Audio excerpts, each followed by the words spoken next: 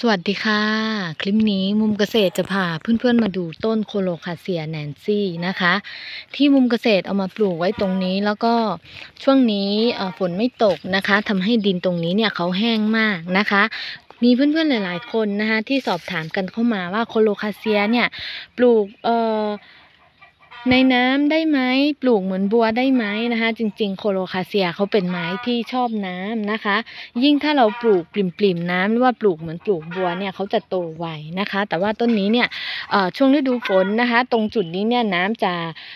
น้ำไม่ท่วมแต่ว่าจะชื้นๆแฉะๆหน่อยนะคะมุมเกษตรก็เอาเขามาปลูกตรงนี้ แล้วก็พอ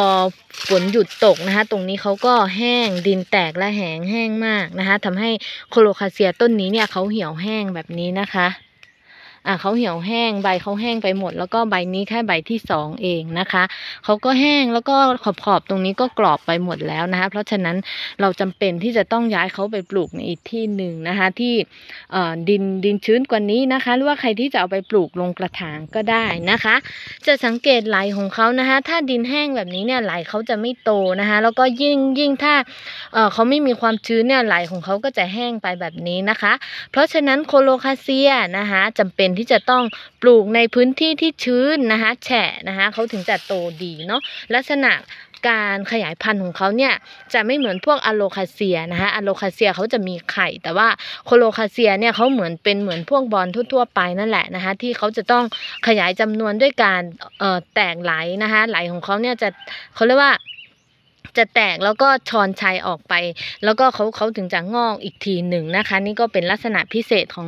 เป็นลักษณะทั่วๆไปของโคโลคาเซียนะคะ ต้นนี้แนนซี่นะคะ จริงๆ ถ้าปลูกในพื้นที่ดีๆ ตอนนี้เขาก็ขยายได้หลายต้นแล้วก็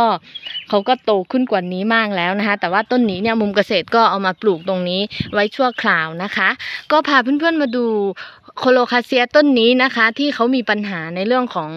เออเขาเขาไม่ไม่ได้รับความชื้นนะคะปลูกในพื้นที่แห้งแล้งเขาก็จะไม่โตแบบนี้นะคะ เพราะฉะนั้นเพื่อนๆลองเอาไปปรับใช้ที่สวนดูนะคะสำหรับเพื่อนๆคนไหนที่ เพิ่งจะเริ่มสนใจโคโลคาเซียนะคะตัวไหนก็ตามนะคะควรที่จะหาพื้นที่ที่ปลูกปลูกแบบปลูกแบบ ปลูกให้เหมาะสมนะคะเขาถึงจะโตดีขยายพันธุ์ได้ดีนะคะ ก็เอาเอ่อพาเพื่อนๆมาดูตัวอย่างของเขาแค่นี้ก่อนนะคะ อย่าลืมกดไลค์กดแชร์กดติดตาม เพื่อที่จะติดตามคลิปใหม่ๆ ของมุมเกษตรในโอกาสต่อไปด้วยนะคะ ขอบคุณและสวัสดีค่ะ